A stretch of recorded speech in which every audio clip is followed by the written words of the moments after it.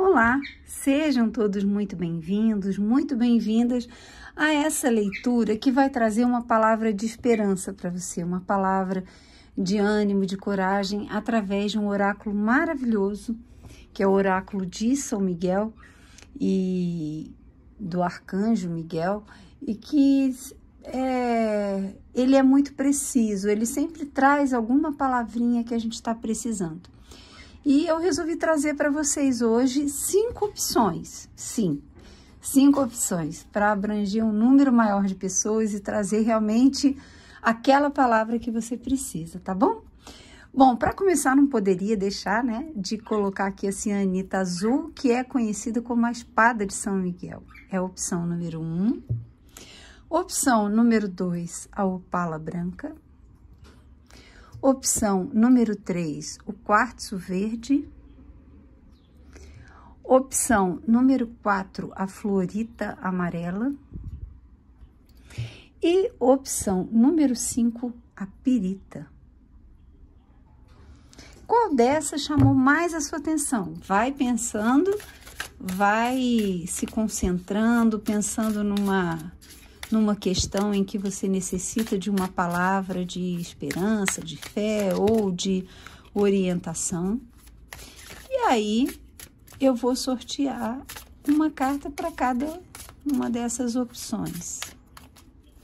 Vamos lá?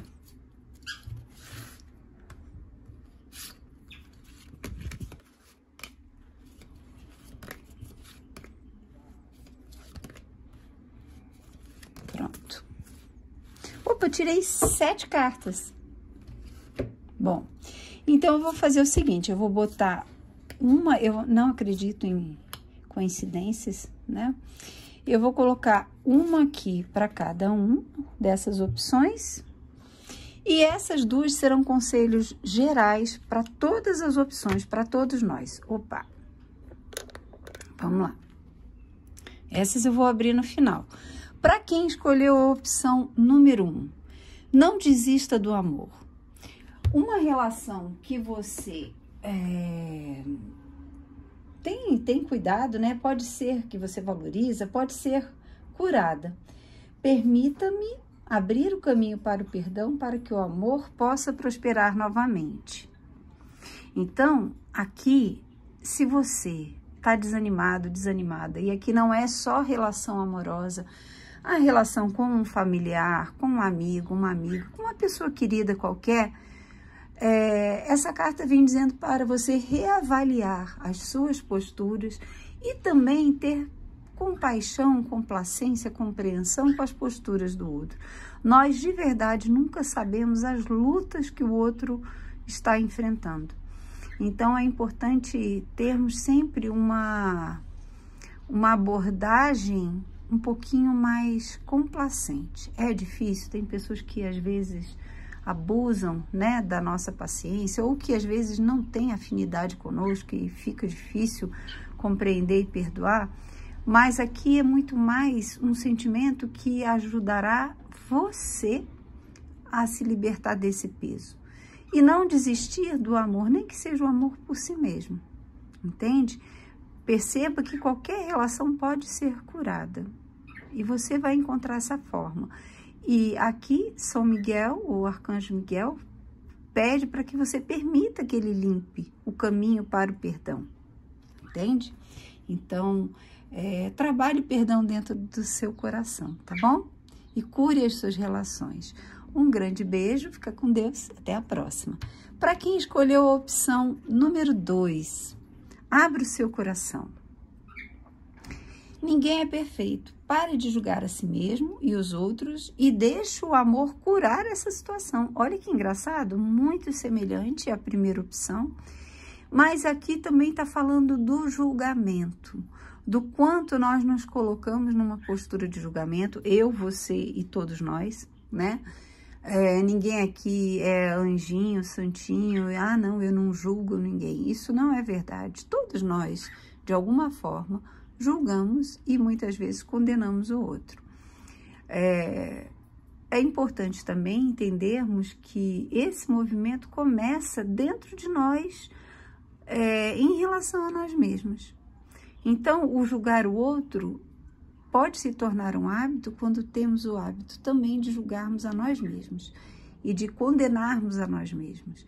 Então é importante parar de julgar no sentido de avaliar negativamente, sabendo que todo mundo é imperfeito, todo mundo tem suas falhas, suas dificuldades e também suas virtudes.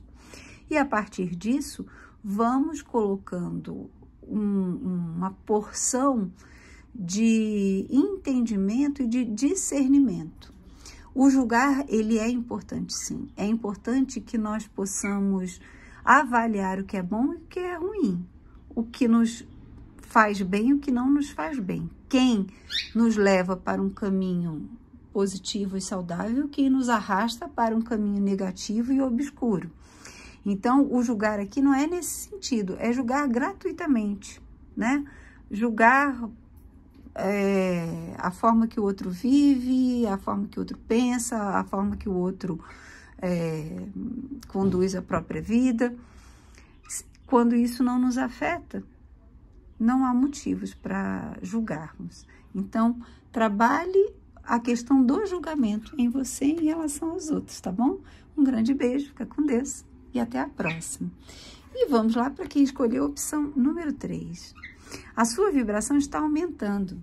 Esse é um tempo de grande crescimento espiritual para você. Você está evoluindo para ocupar uma frequência energética mais elevada.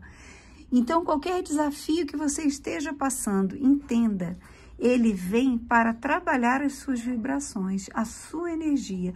E qualquer trabalho que você esteja fazendo no campo espiritual, energético, tratamento de saúde, o que for, está trabalhando para aumentar sua vibração. E você está no caminho certo. Que maravilha! Você está, o seu esforço está, é, digamos assim, gerando resultados positivos, ainda que você não perceba, porque você está alcançando altas frequências energéticas. Continue assim. Um grande beijo, fica com Deus e até a próxima. Para quem escolheu a opção número 4, é, não se contente com menos. Você é um filho do divino e merece realizar os seus sonhos. Não desista. Desculpa. Então, aqui fala para você ter garra, coragem, para não desistir. E também para não alimentar pensamentos de menos-valia, pensamentos depressivos, pensamentos de culpa, de remorso, que te afastam do, de um crescimento, de uma expansão e da conquista dos seus sonhos, dos seus objetivos maiores. Então, muitas vezes, é, nós somos induzidos e, e, levados a pensar, por exemplo, que o sucesso é ruim, que a ambição é negativa, que o dinheiro é coisa de gente má, quando na verdade são apenas forças e depende do uso de cada uma. Uma pessoa excessivamente arrogante é, é realmente está no caminho errado. Uma pessoa excessivamente ambiciosa vai passar, com certeza, por cima dos outros para conseguir o que quer. Mas isso tudo não quer dizer que essas energias, essas posturas diante da vida sejam negativas. A questão é encontrar o equilíbrio, né? Então, é, acredite que você é uma centelha divina e que você merece ser feliz. A felicidade é possível e é uma força, uma energia que nós precisamos acreditar. Acreditar em finais felizes. Acredite. Um grande beijo, fica com Deus e até a próxima. Para quem escolheu a opção número 5, busque o seu poder de volta. Você tem se esquecido de quem você é. Você é uma criança do divino. Então, traga de volta o seu poder. Não importa a idade que você tem, não importa o estágio de vida em que você está, o que importa é você entender que a alma, ela, ela é pura e perfeita, independente da situação que ela está vivendo. E como centelhas do divino, temos poder. E se você acreditar nisso, você vai conseguir fortalecer suas estruturas internas e, às vezes, até fisicamente, entendendo que você tem o poder de mudar a sua vida, tem o poder de ser feliz, de, de cavar situações, buscar situações movimentos na sua vida para que você seja feliz. Mas para isso você precisa acreditar que tem esse poder. Então traga esse poder de volta para sua vida, tá bom? Um grande beijo, fica com Deus e até a próxima. E para quem ficou até o final, vamos ver essas duas cartas aqui. A primeira fala para você abraçar esse momento mágico. Você está no perfeito espaço energético para manifestar milagres. Permita que os seus desejos sejam é, realizados. Abrace esse momento mágico. Você está no perfeito espaço energético para manifestar milagres. Permita que seus desejos sejam realizados. E aqui, anjos da cura estão com você. Um tempo de cura é, está sobre a, a sua vida, está prestes a abençoar a sua vida. Aceite a luz verde esmeralda do arcanjo Rafael, enquanto eu aumento a sua força. Né? Então, aqui a gente tem a espada de São Miguel e aqui a luz verde esmeralda de São Rafael, que trabalha a cura. Então, se você está com algum problema de saúde, mentalize, fortaleça, imagine um campo verde esmeralda à sua volta, com a espada de São Miguel abençoando e protegendo esse campo, trazendo refazimento de todas as suas células, de todo o seu corpo, aliviando qualquer dor, qualquer doença, trabalhando você, trabalhando o seu corpo. Aqui fala no geral, né, para todas as opções, para todos nós. Há um momento muito propício para a cura. Ainda que nós acreditemos que isso, ah, não, isso vai ser um milagre. Imagina, não, o corpo não é assim, o corpo, eu preciso disso, eu preciso daquilo. Lembrando, matéria é energia condensada. Lembrando, a nossa mente gera padrões energéticos vibracionais. O nosso coração emite energia. Então, se eu uno os dois, dois pilares do ser humano, se eu tenho uma coerência cerebral com o sistema, é, todos os neurônios, que existem mais neurônios no coração do que no cérebro, é, se eu uno essa corrente cerebral e emocional, eu entro numa coerência numa, num padrão energético que propicia transformações, cocriações. Então, esse momento não veio à toa, essas cartas não vieram à toa para nos falar.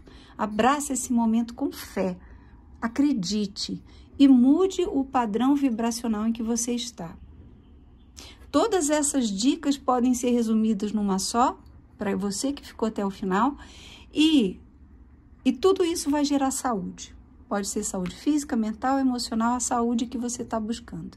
Como vai, pode parecer um milagre, mas como Santo Agostinho dizia, os milagres não acontecem em discordância com a natureza, mas em discordância com aquilo que conhecemos da natureza. Tá bom? Milagres acontecem porque não são milagres, são forças que utilizamos sem saber mas vamos sabendo, vamos aprendendo e vamos poder usá-las para o nosso bem, para o bem de todos. Um grande beijo, fiquem com Deus e até a próxima.